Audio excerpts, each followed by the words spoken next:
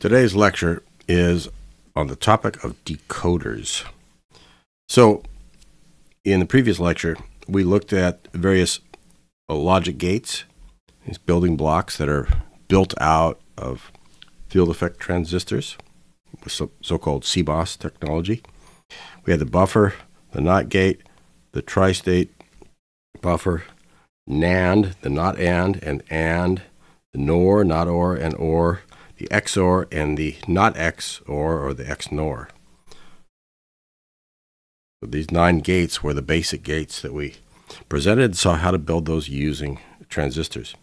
Well, now we want to start seeing how to take these logic gates and use those to build higher level components. Now, to motivate this, we're going to look at this figure here. And this is um, drawn after some examples on the website simplecpudesign.com. And this is a high level schematic of a simple CPU, central processing unit, or it could be a microcontroller. Similar idea. So in here inside the dotted lines, uh, that would be the, the CPU. And then external, you'd have the RAM over here, random access memory. And we have three buses. We have a control bus over here in red. We've got an address bus in green and a data bus in uh, in blue. So a bus is just a collection of wires. So if you have an, like an 8-bit uh, microcontroller, then the data bus would have eight wires, eight different bit values and those, those would be then considered a byte, one byte of data. And those would then be used to do things like put data in and out of the, the RAM memory. Um, the address bus would be used to point to different locations in RAM. And the control bus controls the various different components that are in the CPU. So let's look at those here. Uh, we have over here a thing called the program counter.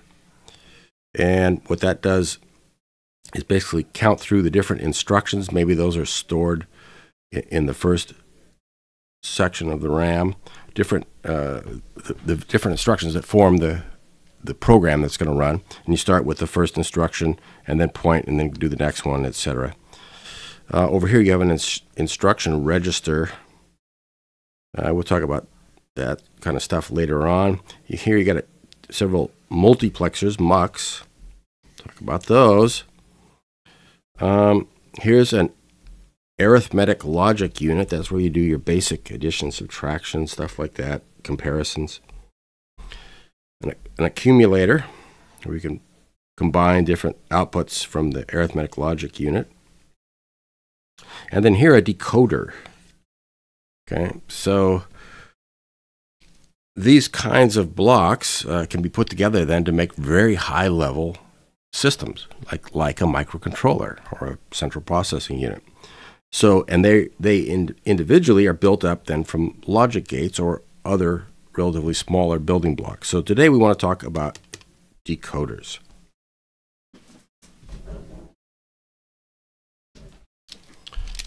So decoders are devices that have n inputs and M outputs with M less than or equal to 2 to the n. These inputs, we consider them to form a code, and then that code determines which outputs are on. In other words, have a logic state of 1. And you could have one or more of the outputs being on, and then all the others would be off. And this would be determined by the code. The decoder takes the code, reads the code, and then decodes it, meaning it produces these outputs, which are some are on and some are off. A little more specifically, we would call this an N to M decoder. Now, a binary decoder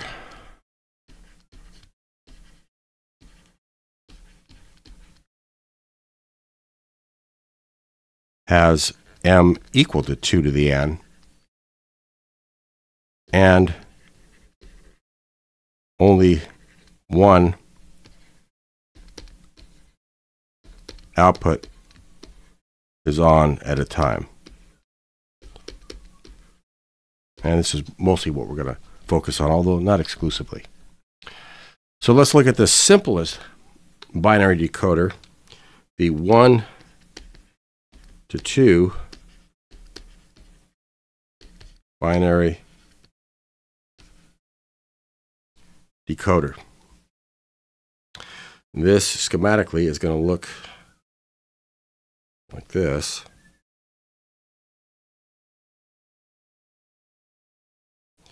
Going to have one input, we're going to call A, and two outputs, we'll call Y0 and Y1. Right? There's one input, and 2 to the 1 is 2, is the number of outputs, right? So M, M the odd number of outputs, is 2 to the n. And here's the truth table. Here's A, Y0, and Y1. A can be 0 or 1.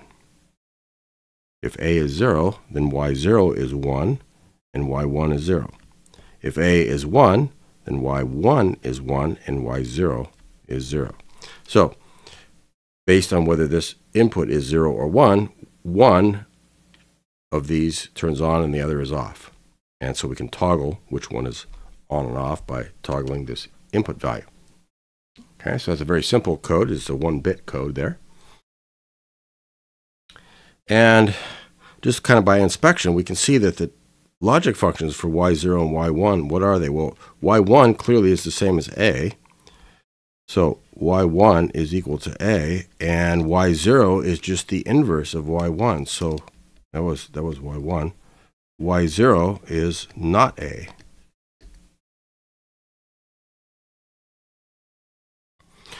So we could implement this using logic gates uh, as follows.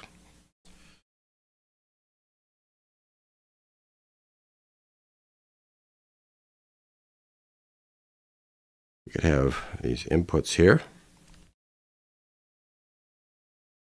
Be A, and the left uh, logic gate could be a buffer, and the right one be an inverter.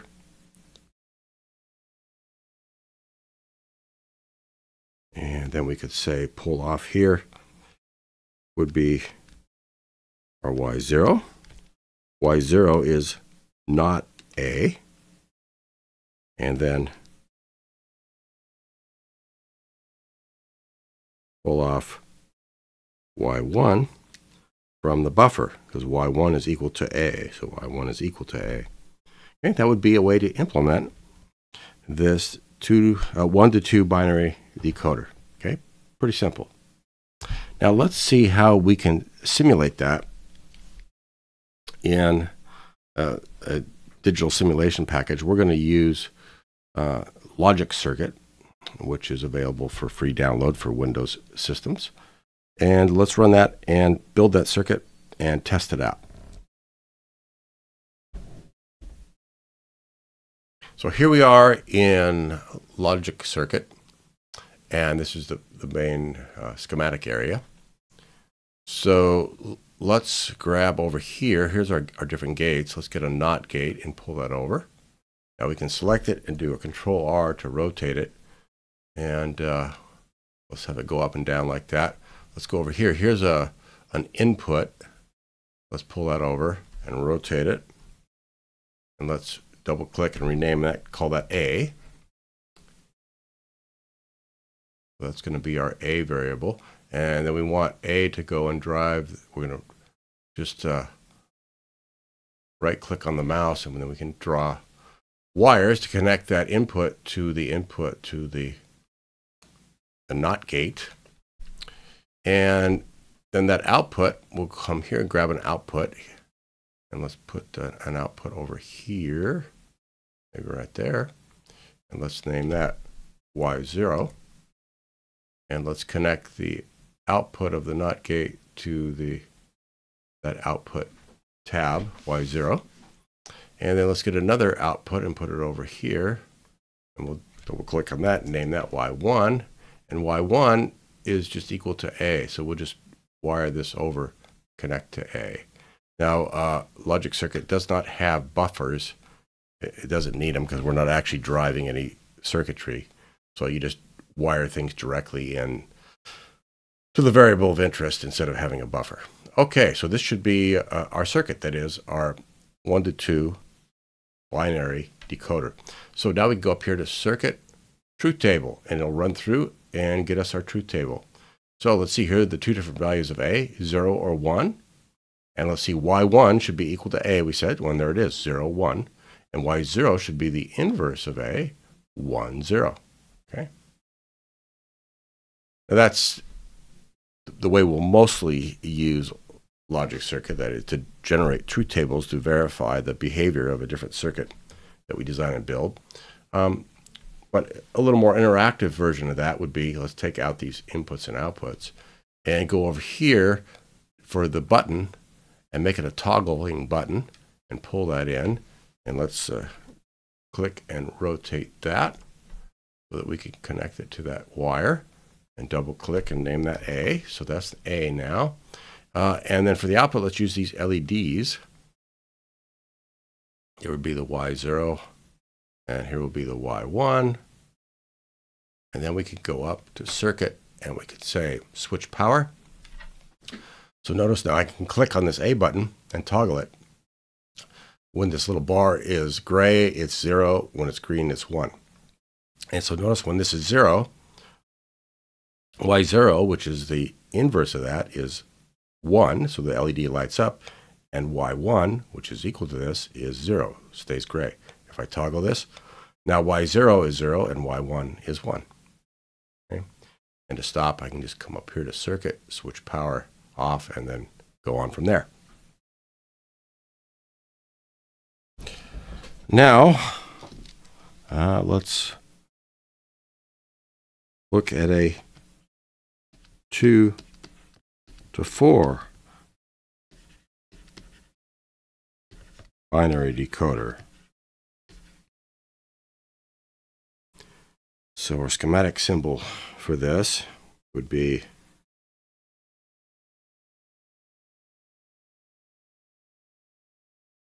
like so. It's going to have four outputs.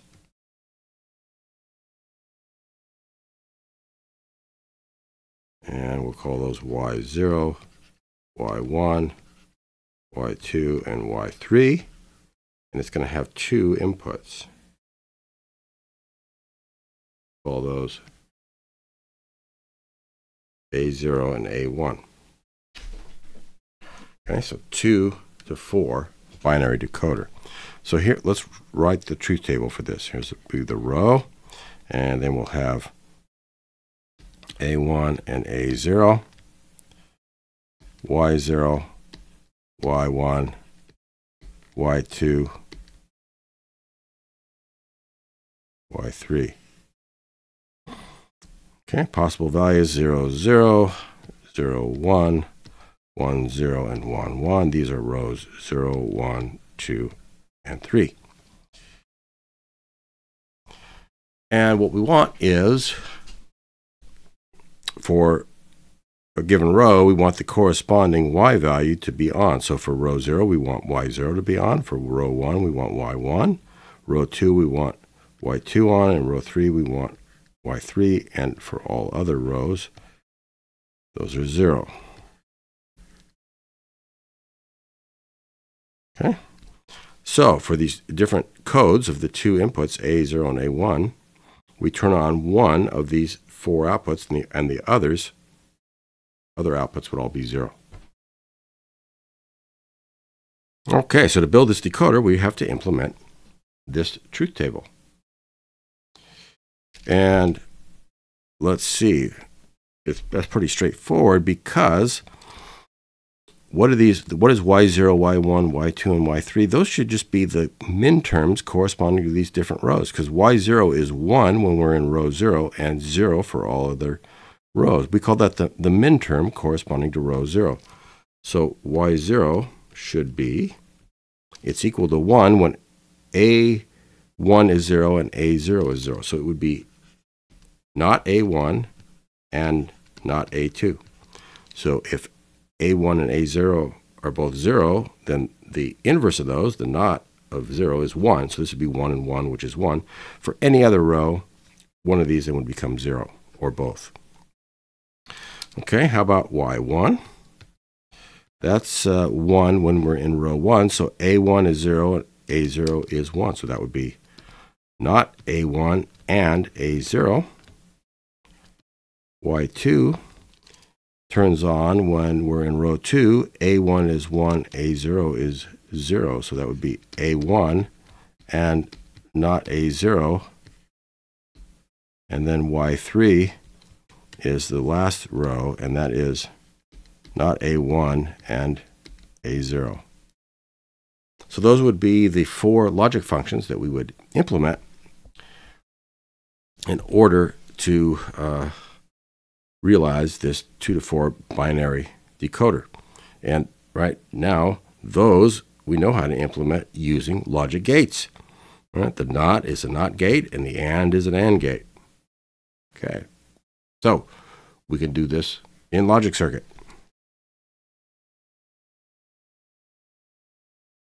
Okay, here we go. Let's get, uh, we need two inputs now. Rotate this, it's just convenient for a systematic way to implement these kinds of circuits. We'll have uh, two of these. This one will be our A1. Oops. Our A1.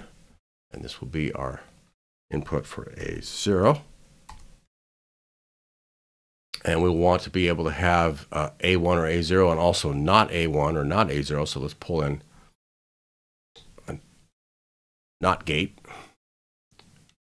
And we'll put this uh, like, like so, and then we can copy and paste that here.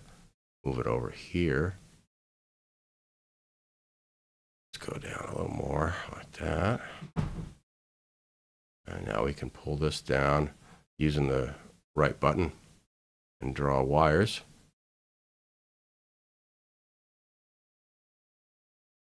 Okay, so for our first Y0 output, that's Y0, the logic function we saw was not A1 and not A0. So we can we get the not A1 off of this not gate and the not A0 off of that gate.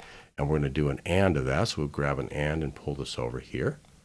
So we could take not A1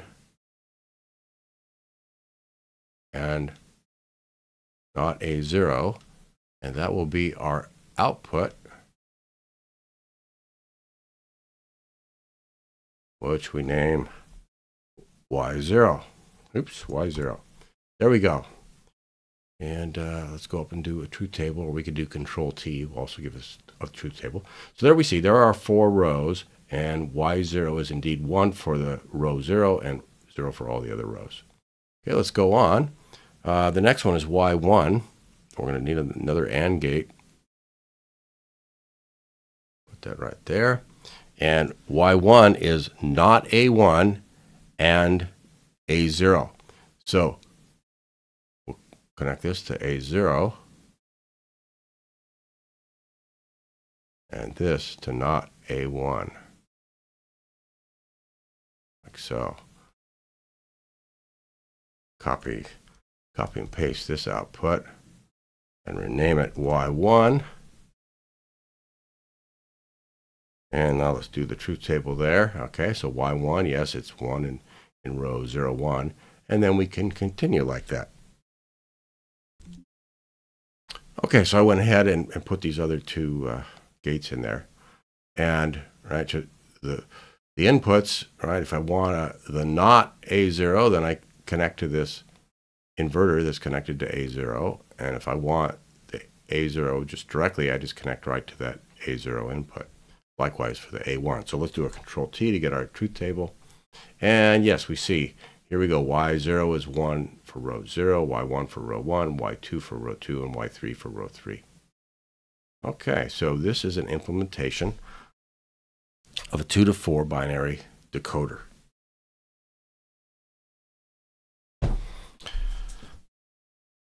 Now, we're going to put a little wrinkle in this.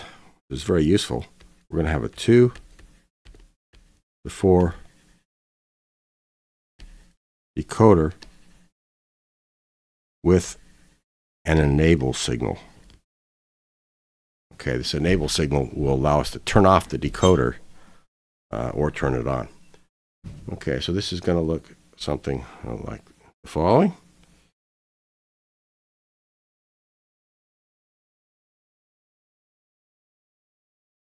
We're going to have still our four outputs.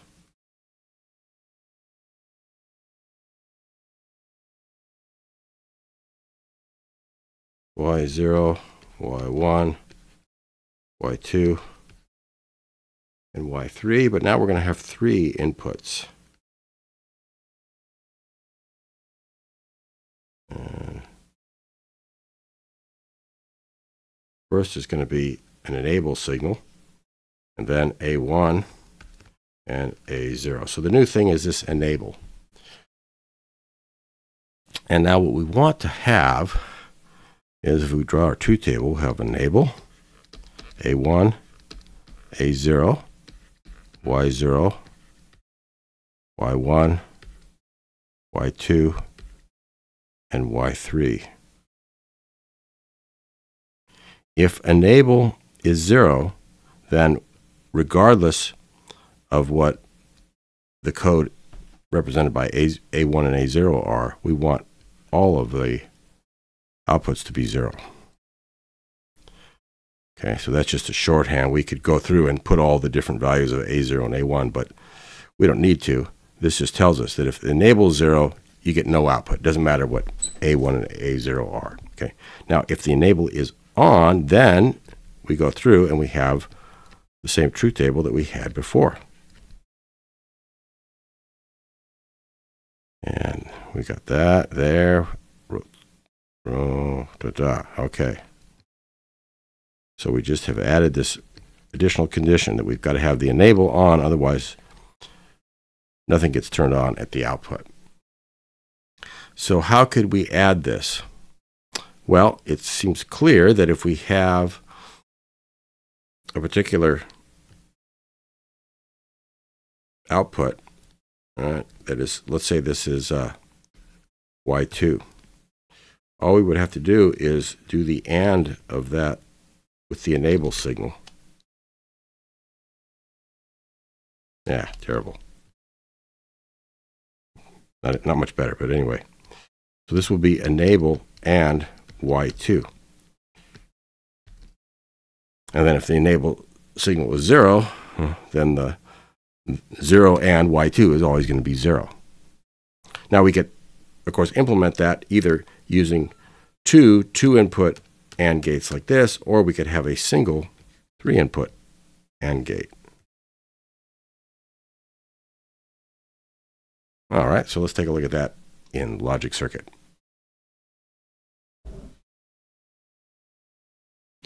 Okay, here we are in logic circuit. And what we've done is we replaced our AND gates, our two input AND gates with three input AND gates. And then that third input, we just connect it to the enable signal. Okay, so now we can do a control T to get the truth table. Here we go. So we see for the first four rows where the enable signal is zero, all of the Y values are zero. Then for the last four rows where the enable is equal to one, well, when we've got 0, 0 for A1 and A0, we get the Y0 turns on, then the Y1, Y2, and Y3. Okay.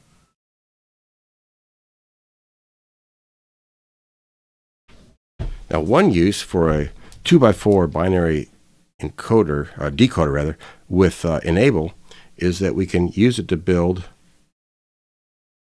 a 3 to 8 binary decoder. And to see that that's the case, let's take a look at the truth table for a 3 to 8 binary decoder. So we're going to have three inputs now. We'll call them A2, A1, and A0. Uh, let me move that over a little bit because we're going to list the row here. So A2, A1, and A0. And then we're going to have eight outputs, Y0, y1, y2, y3, y4, y5, y6, and y7 will be our eight outputs. So our three inputs uh, that form our, our code, we just step through all the possible values, 0, 0, 0, 0, 0, 1, 0, 1, 0, 0, 1, 1. Okay. Now the next four are going to just have A2 is equal to 1, and we're going to go through the same A1 and A0 values. So we'll have 0, 0, 1, 1, 0, 1, 0, 1. This is row 0, 1, 2, 3, 4, 5, 6, and 7. What are our outputs? Well, for row 0, we want y0 to be on. For row 1, y1, y2, y3, y4, y5, y6, and y7. And all the other entries would be zeros.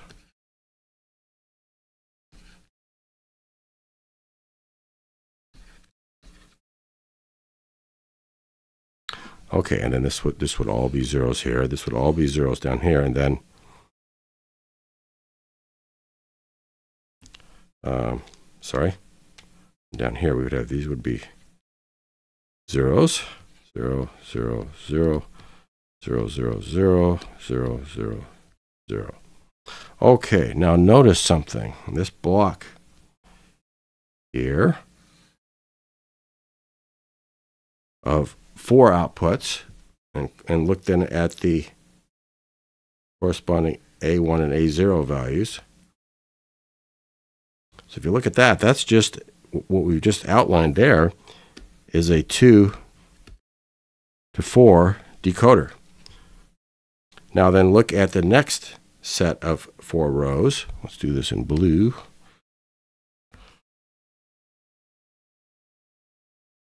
We go through the same a1 and A0 values, and we get the same outputs, but now shifted over instead of Y0, 1, 2, and 3, it's Y4, 5, 6, and 7.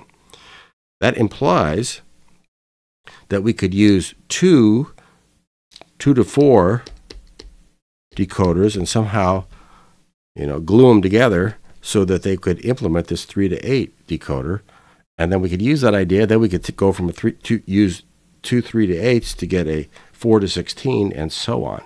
So in other words, we can start to, to take the circuits, the simple circuits that we've designed in, in terms of logic gates and kind of put those in a box and then glue those boxes together. Okay, so this is what we're going to try to do here.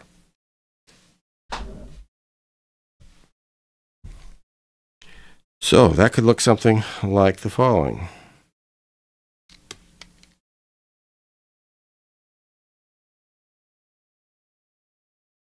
Let's go over here.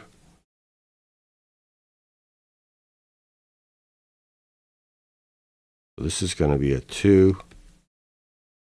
4 decoder with an enable signal. And uh, I need to make it a little taller here. And here would be our four outputs. And we're going to make these be Y0, y1, y2, and y3. And we'll have the enable input here, A1, and the A0. There's A1 and A0. Okay, and for the enable input, we're going to put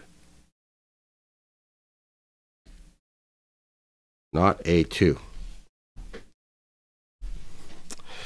What's that going to do? Let's see. So when A2 is equal to 0, not A2 will be true, and it will enable this.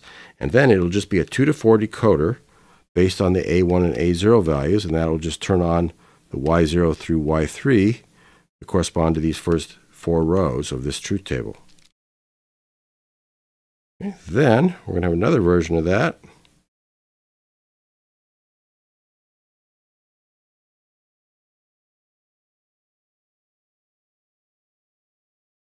Another 2 to 4 decoder. with enable. And these outputs are going to be the next four rows.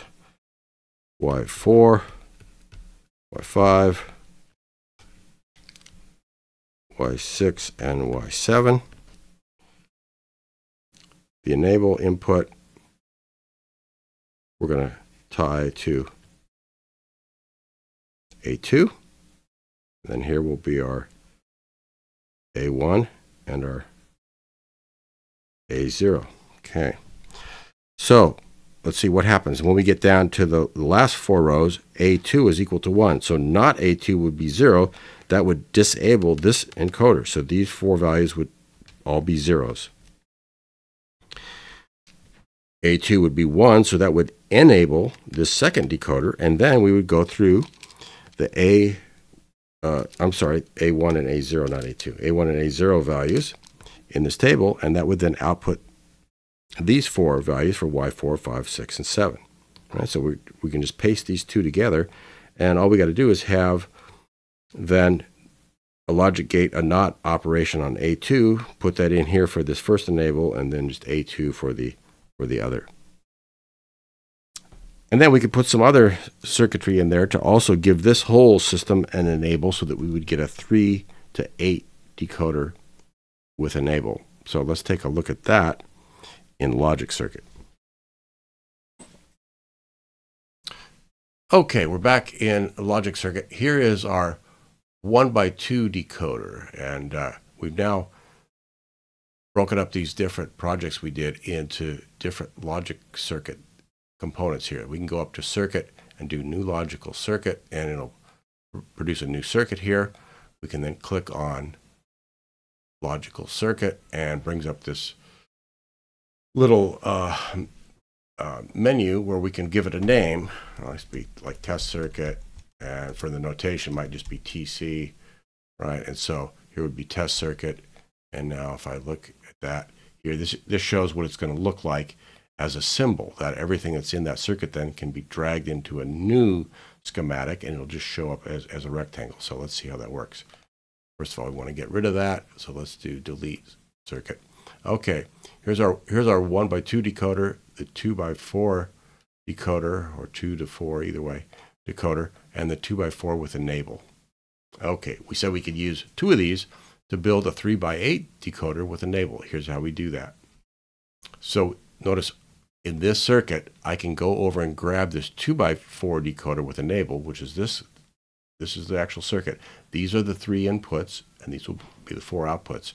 So over here, I can just grab that and drag it and drop it. And there we got a two to four decoder with with enable, and I can hover over one of these pins to see uh, what the what that pin corresponds to. So there, got a little bit a little bit tricky here. Is the output y1, etc. Okay, y y0. All right, so let's delete that. So here we took two of those. We said the first one can take care of the Y0, 1, 2, and 3 outputs, and the next one will take care of the next four outputs, Y4, 5, 6, and 7. Their um, input codes will be the A0 and the A1. Here's A, A0 and A1, and then down here, A0 and A1. And for the enable, we said for the first one, we wanted to have not A2. So here's A2, not A2. Now forget this AND gate for now. If we just took that not A2 and put it over to the enable, then this would turn on when A2 is 0, because not A2 would be 1. And then for the second one, we would have, we want to have just A2. So here's A2. Forget this AND gate for now. A2, if we put that in there, when A2 is equal to 0 for the first, your first um, uh, uh, uh, four rows, then uh, this would be off. And then for the second four rows, when A2 is equal to 1, this would turn on and this would turn off. Okay? Now we also want to have an enable. So all we need to do is take this not A2 or the A2 signal and then just AND that with an enable. So that output now will be 0. If the enable is 0, regardless of what the other input in is, this will be 0 and this will be 0. And these will both be turned off, both disabled all the outputs would be zero. Now, if this is equal to one, then this is one and not A2. So if not A2 is true, is equal to 1, then this one is enabled, and this one would be disabled because then A2 would be false. All right, so let's uh, do a Control T to get the truth table for that. All right, so we can see that for all of the rows here where, where the enable signal is equal to 0, all of the y's are 0.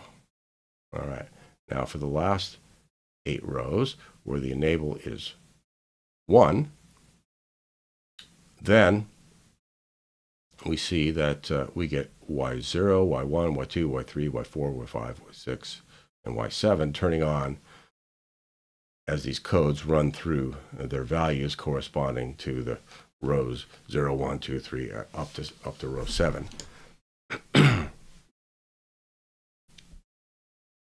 now, then we could take that, let's go into the main here program, and we could pull that block in and pull two of those in and then do some gluing together of this, and we could put those together to a 4 by 16 decoder with enable, and so on.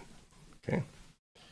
So generally in digital design, especially of very complicated systems, which what you can do is start off designing, well, you start off with your, your logic gates, and you can put those together into a relatively simple circuit with inputs and outputs, and then put that into a box, in, in, into a block, and then pull that block into another circuit and build a higher level circuit, and then take that circuit as in a box and pull that into other higher, even higher level circuits, and you can go up and up, and eventually, you know, you can have something like a central processing unit or a very complicated system. And at every every step is right. You know, if you imagine now, right, if I go in here, double click on that, there's the actual circuit. So if I was to instead of having this box was to draw out each of these circuits like this, it started getting pretty messy pretty quick. So in fact, this is how designers think. They think in terms of a relatively small number of boxes of modules that do things and then they can combine those into one module and then use that and make higher, higher level things so they kind of stack these up and go up to higher and higher uh, uh, capabilities and levels of complexity but at every stage they're only looking at a relatively small number of, of blocks. And then of course you could then drill down in to any of those blocks if you wanted to. Now, binary decoders, right, and an n to 2 to the n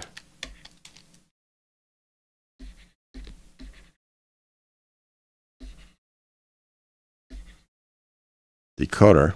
One application would be you've got this code coming in, and that code is going to turn on one and only one of these output lines. And then each of these output lines might go to a, a different uh, process or a machine, right? Process one, process two, etc., all the way down to you know some process n. So you can use a, a relatively short code to control a large number of processes uh, given that only one at a time is going to be on. Now that's also how you use this in like the design of a, a CPU. You use it to, to select which different um, modules within the CPU are going to be enabled in order to do different types of calculations, like doing addition or subtraction, and like in an arithmetic logic unit. You could have a, an, an adding circuit and a subtracting circuit and a comparison circuit, etc. And you could use a decoder to turn those on and off uh, depending on what operations you wanted to perform. Now, so those are binary decoders. We, you're only turning one thing on at a time. An example of a system where you might want to turn on multiple outputs is the classic seven segment decoder. So let's take a look at that. Here is the classic seven segment LED display. So it's called a seven segment display because it has seven segments labeled A, B, uh, here, uh, A, B, C, D, E, F, and G. And as shown in this row right here, by turning those on and off uh, in the appropriate manner, we can form the, uh, the 10 decimal digits 0, 1, 2, 3, 4, 5, 6, 7, 8, and 9. Okay, so you've probably seen this kind of display used on things like uh, vending machines or other kinds of systems that just need a, a simple uh, and very visible output to show numbers, or you could extend it so you could also show, show letters. So how would we implement a decoder that would turn these different digits on? Well, let's see. So we, we're going to have 10, 10 digits here. Uh, and let's see, if we had three input variables, two to the third would, would give us eight rows in the truth table. But we need at least 10 rows because we got 10 different digits to represent. So we're going to need four inputs. So we will uh, let those be A, B, C, and D. And then here would be our row value, which would also correspond to the decimal digit 0, 1, 2, 3, 4, 5, 6, 7, 8, and 9. We'll just show 0 to 3 here. So we just count out 0, 0, 0, 0, 0, 0, 0, 1, 0, 0, 1, 0, 0, 0, 1, 1. Those are our first four rows. And for those corresponding digits, what segments do we need to turn on? We put the segments over here, A, B, C, D, E, F, and G. And these are going to be the logic functions for those. Okay, for uh, decimal uh, 0, for row 0, here is what we want to see. And so we look over here and we see that all of the segments must be on except for G. G should be off and all the others are on. So G's off and all the others are 1. How about for the digit 1? Well, over here we can see we only want B and C to be on. That's B and C. And all the rest are 0. And etc. So you just go through and fill out this truth table. And then you would implement the logic functions for the A, B, C, D, E, F, and G segments. And that would allow you then to provide as an input a four um, variable code that then would allow you to control this seven segment display to turn on these 10 different um, decimal digits. Now, since you have four input variables, uh, and 2 to the 4 is 16, uh, you can add some other outputs, and very often in binary systems, we use um, uh, a hexadecimal uh, numbering system where we have 16 digits, and those would go 0 through 9, that would be 10, and then we have A, B, C, D, E, and F. And those would represent that all the way from 0, 9, 10, 11, 12, 13, 14, 15, F would be 15. Okay, and then here's ways uh, that you could represent the letter A, B, C, D, E, and F. Okay, so you could extend out this truth table then to have uh, 16 rows and represent all those 16 hexadecimal or hex digits. Okay, so in one of the in one of the lab projects, you're going to uh, actually implement a seven segment decoder that's going to allow you to do this. You're going to do this in logic, uh, uh, logic circuit.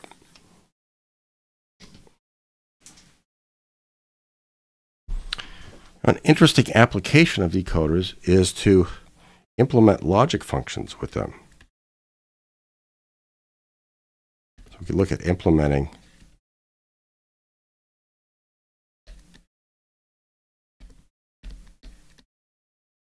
logic functions.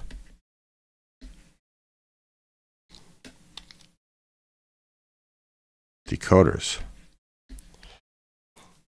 So let's look at a three input variable truth table. Here's our row. Here's A, B, and C. And here's Y. So we got row 0, 1, 2, 3, 4, five, six, and seven. Zero, zero, oops. Zero, zero, zero, zero, zero, one, zero, one, zero, zero, one, one, all ones, zero, zero, one, one, zero, one, zero, one. Follow the pattern. And let's say the uh, y values are 1, 0, 1, 0, 1, 1, 0, 0. So let's say that's the truth table.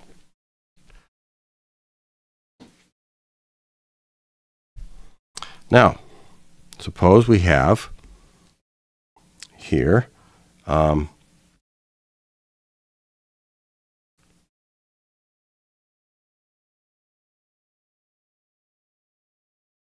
a 3 by 8 decoder. All right, and this is right y0 down to y7.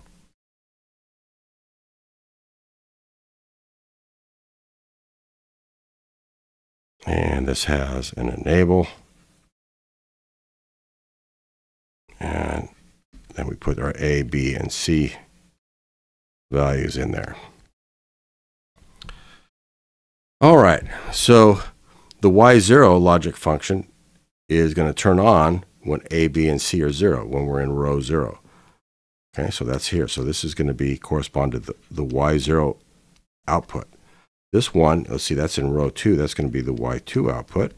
Here you've got rows 4 and 5, so that's row, uh, uh, that's Y4 and Y5. So here's Y0. Let's erase that Y7. Here's Y, Y2, Y4, and Y5. So if we're any any of these rows, rows 0, 2, 4, and 5, we want the output function to be 1, otherwise it's 0. So here's all we have to do. Just take all of those outputs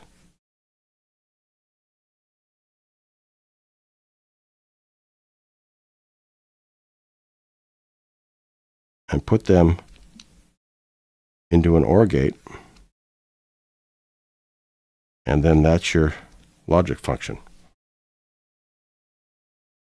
Because the internal logic of the, the n to 2 to the n decoder gives you outputs which turn on and are 1 for every one of these different rows in the truth table. So just select the rows that you want to AND together. This is the sum of products form for an arbitrary truth table arbitrary logic function.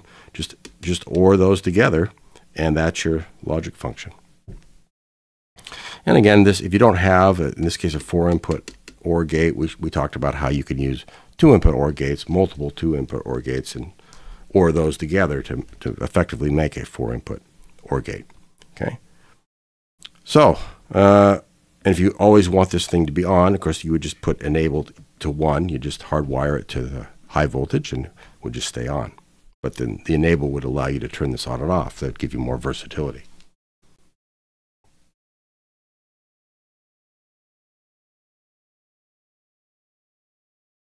So let's do this in uh, logic circuit. So here we have our decoders we made before. So we're going to use a 3 by 8 decoder to implement this logic function. Okay, so here's what we're going to do. Uh, for our enable, we're just going to hardwire this to have a constant value. Down here, see constant. We'll bring this in and we'll just wire that in to have a, a value of 1, so it's always enabled. And then we'll have our inputs A, B,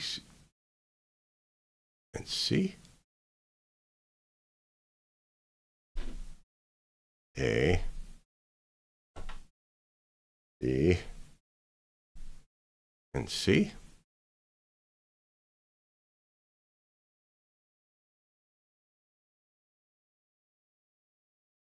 And then here are our eight outputs, Y0 through Y7, and we want to take four of those and OR them together. So we go down here and grab an, an OR gate. We want four inputs. Select four inputs. There's our four input OR gate. And so we want row 0, which is this one right here.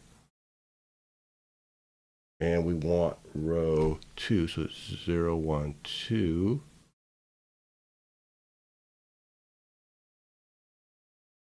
then row four, that's, that's zero, one, two, three, four. And then five. So here's five. Okay, so the claim is now that that output should be our logic function. Y. Let's do a control T and get the truth table. Let's see. So row 0 to row 3 or 5. Uh, I'm sorry, row 0, 1, 2, 3, 4, and 5. Um, we get the appropriate ones and zeros in the right place. So there's an interesting way to use a decoder to implement a logic function. So you can buy decoders, integrated circuits that uh, implement these various decoders. And in the early days of uh, electronic computers, uh, so like 1960s and 70s, um, a lot of computers were built using these discrete kinds of chips, kind of low-level integrated circuits, logic gates, decoders, things like that. Of course, these days, all of these components are all put on one gigantic collection on a single silicon substrate uh, for a chip that has billions of you know of transistors on it. So they're all integrated into one big circuit rather than having a whole bunch of smaller circuits and you have to wire them together and put them on a motherboard and stuff like that. But the idea is the same as far as the design and the logical nature of the behavior of the circuit. If there are decoders, we may ask, are there encoders? And the answer is yes. Decoders decode and encoders encode. Um, in particular, a binary encoder has m equals 2 to the n inputs and n outputs.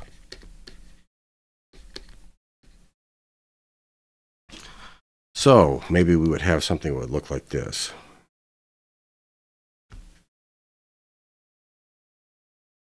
If n is equal to 2, then 2 to the n would be 4. That would be 4 inputs. Put these here. And let's suppose these inputs are A0, A1, a2 and A3. And then we would have n is equal to 2 outputs. We put those right here. And maybe those are y1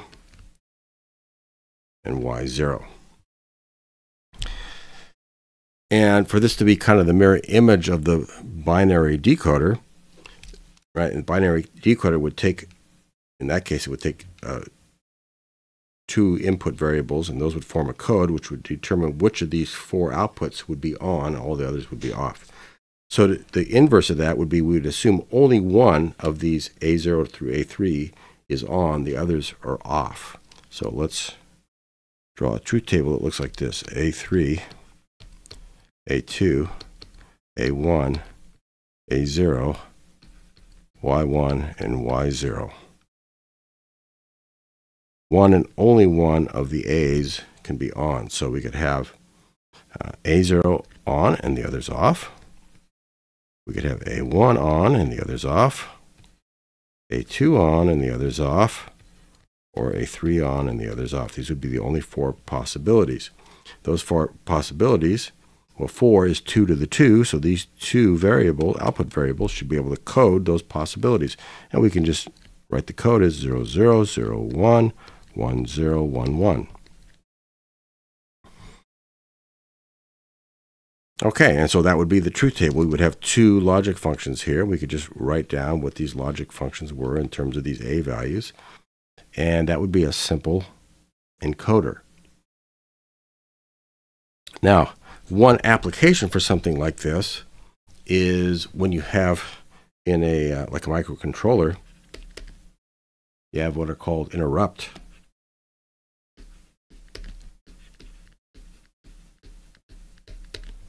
requests. So a microcontroller will have some interrupt lines.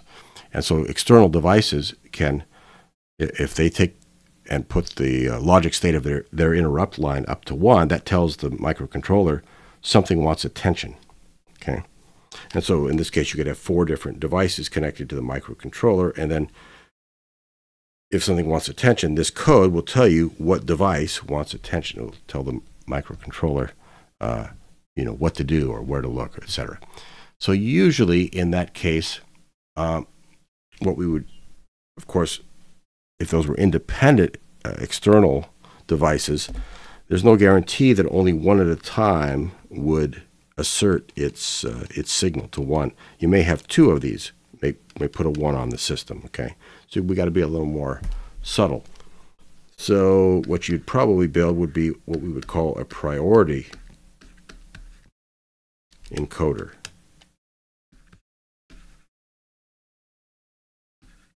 And so you would give a higher priority to, say, one of these lines.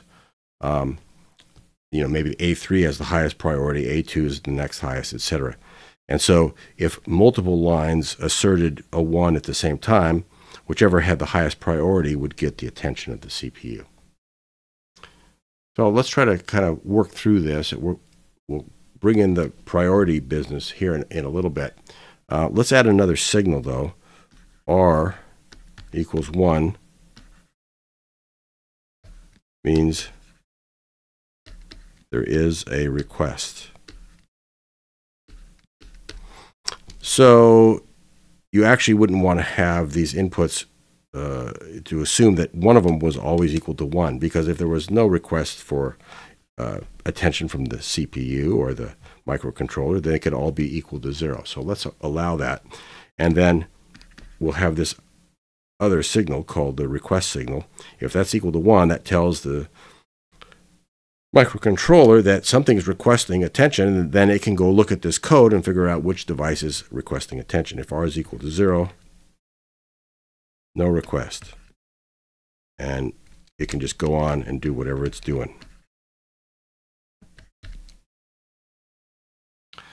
Okay, so let's fill out this table again.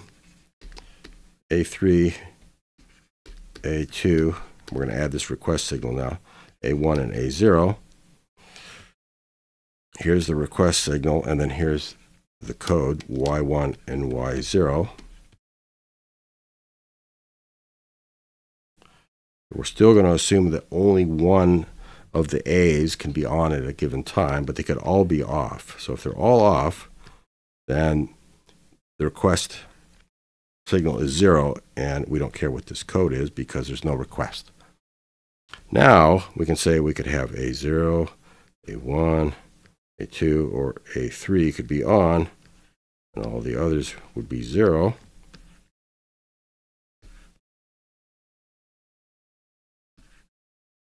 In this case, there is a request, and then we have these codes 0, 0, 0, 1,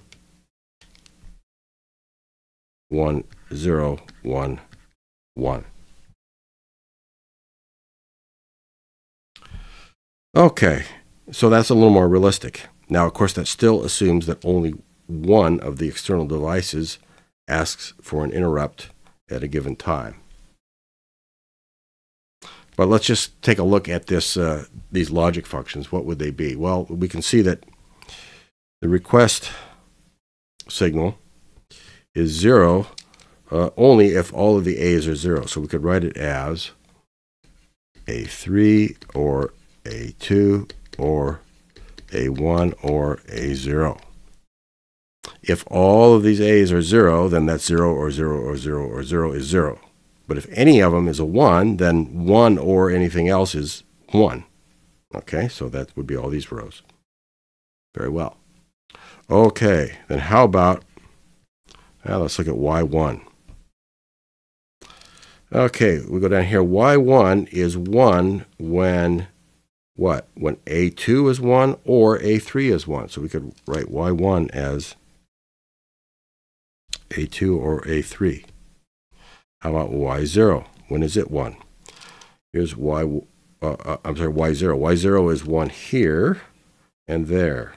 So Y0 is 1 when A1 is 1 or when A3 is 1. So you could write this as A1 or A3. And there would be your logic functions that would implement this encoder. Now, as I mentioned, this is not really a super practical encoder because in practice, you really couldn't assume that uh, these devices connected to these different input lines would somehow coordinate with amongst each other so that only one at a time would ever assert a one. So we really have to try to implement this using the idea of priority encoding. So let's see how we can modify what we've done here for that. A3, A2, A1, and A0.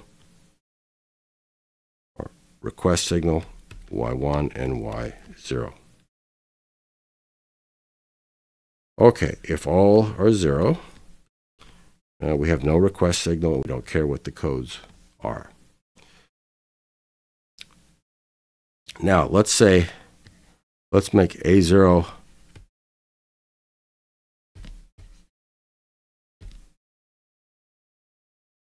priority, then A1, and etc. Okay, so if A0 is 1, we don't care what any of the other A values are. We're going to encode until the, the microcontroller that, that device, the device connected to A0 needs attention. So first of all, there will be a request that would wake up the microcontroller, tell it to go look at this code to figure out what device needs attention. We'll make that code be 00. 0. Okay, if A0 is equal to 0, then A1 has priority. So if A1 is 1, then we don't care what A2 and A3 are. We have a request, and we have the next code, say 0, 1. If neither A0 or A1 are 1, then A2 has the priority. We don't care what A3 is. We have a request, and we'll make that code be 1, 0. And finally, if A3 is 1 and all the higher priority signals are 0, then we have a request, and the code would be 1, 1. There would be our truth table. We've got a lot of don't cares. Remember, if we have don't cares, that would mean that in implementing the, the logic function, we would have a, a lot of uh, flexibility in trying to make a better minimized logic function. Okay, so our logic functions are going to be R, Y1, and Y0. Now the, the R function uh, is the same as before, right? Um, if, if any of the inputs is equal to 1, then we have a request. And, and if multiple are ones, well, we still have a request. So that's already done. Okay, so now we're going to look at the Y1 and the Y2. So let's make K-maps for these. Uh, let's see here.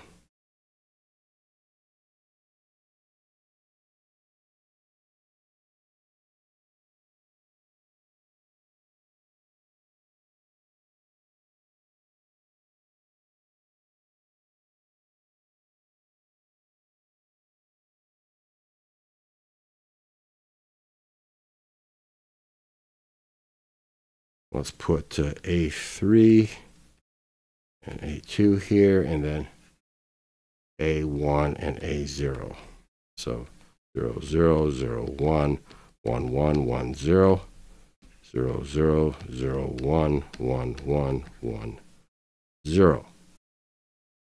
So let's look at the logic function for uh, output Y1. what is that equal to 1? Whenever, uh, well, first of all, A0 and A1 have to be 0, and then A2 is 1. That's 1. Or A3 is 1.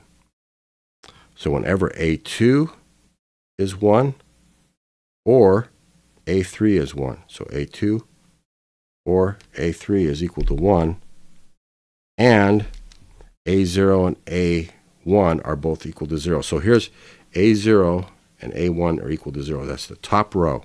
Right? So the fact that, right, for we're looking over here, when Y1 is equal to 1, we have to have A0 and A1 are equal to 0. So we have to be in this top row. Now, in that top row, we have a 1 if A2 is equal to 1.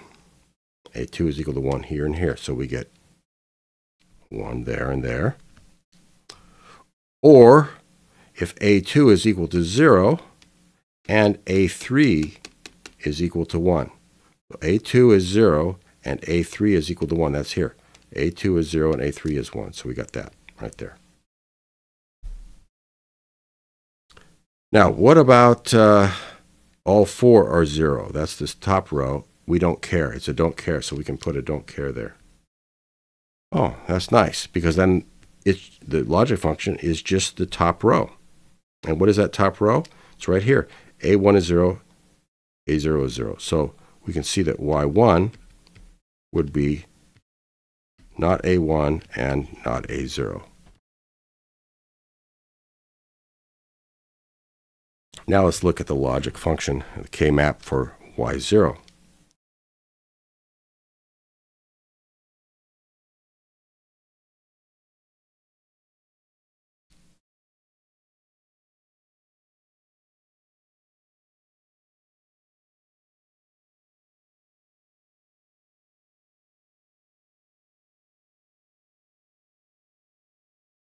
A3, A2, 0, 0, 0, 1, 1, 0, 1, 1, A1 and A0, 0, 0, 0, 1, 1, 1, 1, 0. I did these wrong up here.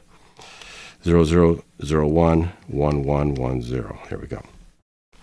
Okay, so now this is going to be for y0. When is y0 equal to 1? Let's do this in blue. Here and there. All right, so the first one is when a0 is 0 and a1 is 1, and we don't care about the other two. a0 is 0 and a1 is 1. a1 is 1 and a0 is 0. That's down here. And a1 is 1 and A0 is 0. Okay, so it's going to be in this, this row. And we don't care about A2 and A3. That means it's this entire, entire row as ones.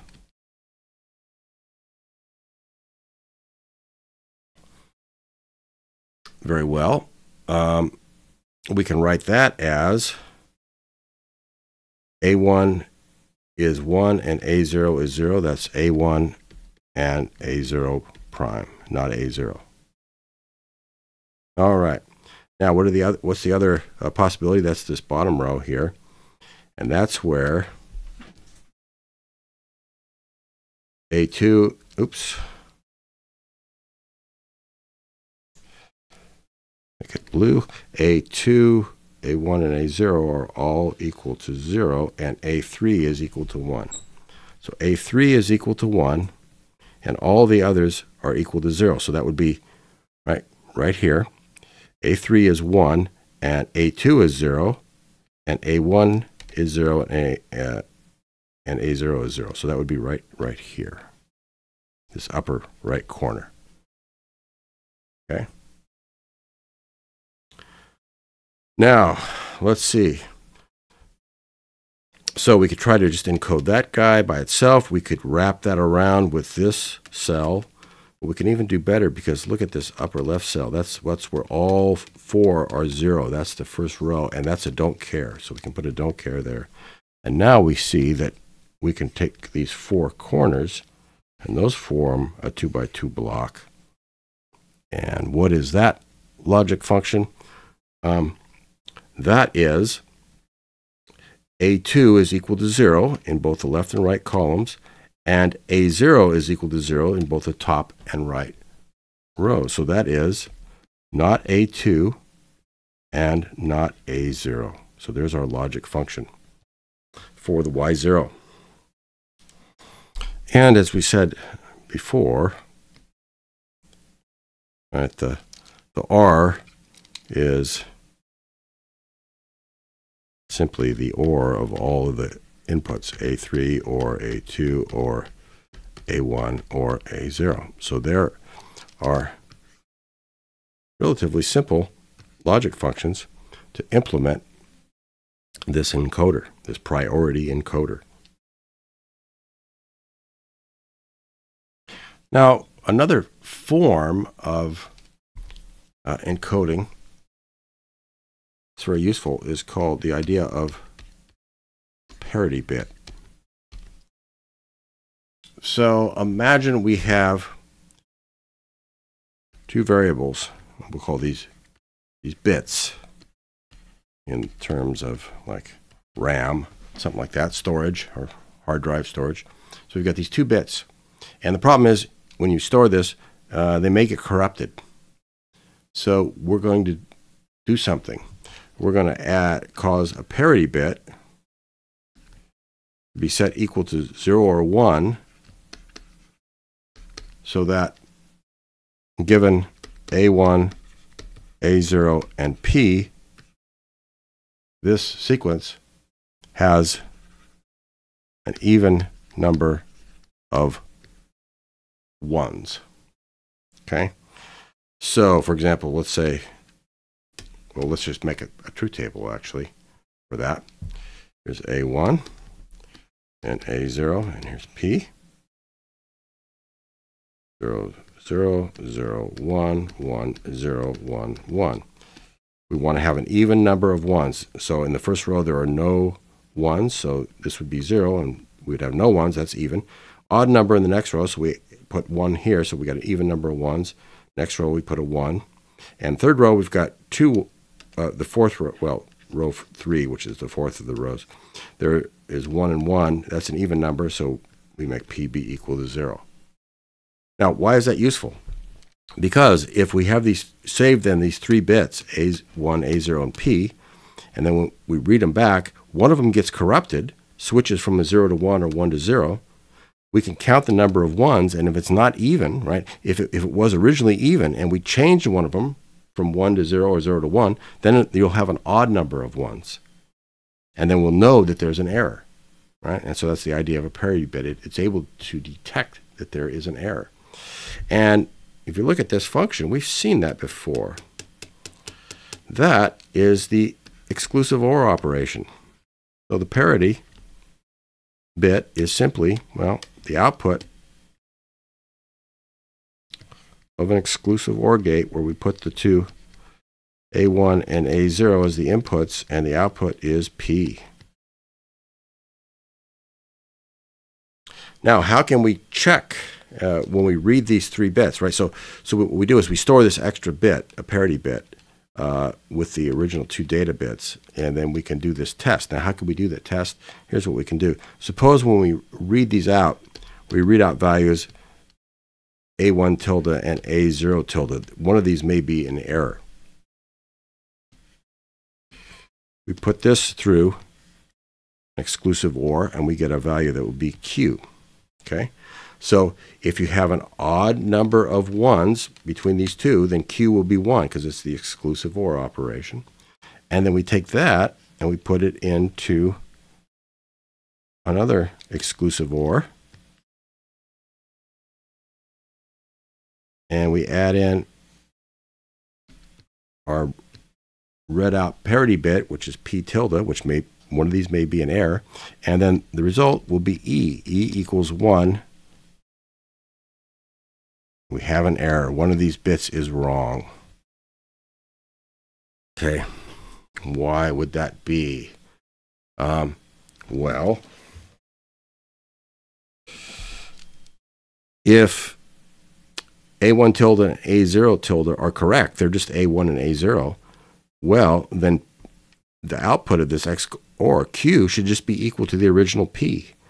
And then the exclusive OR of P and P, if P has no error, well, that's going to be 0 because it's going to be 0 and 0 or 1 and 1. Okay, so you get E is equal, if there was no errors in any of these, you'd get, this would be equal to 0. If there was an error in the P tilde, well, then this would be, that would be the opposite of Q, and then one of these would be 1, the other would be 0, and the exclusive OR would give you 1. Or, if there was an error in one of these bits, then, right, you, you would go either from 0, 0 to 0, 1 or 1, 1, 0. So the p value would change, the q value would change. Or, right, you can just see that if you take any one of these combinations and you make a bit error, the output of this exclusive OR is going to change from 0 to 1 or 1 to 0. And so again, that would be different if the P was correct, then this Q would be incorrect, and so then the exclusive OR would be equal to 1. So this thing will detect errors. So this generates the parity bit, and then this detects errors. And we can extend that. Um, we could have, for example, a single uh, parity bit for 8 bits, a byte of data. And just using these exclusive OR gates, we could build that up.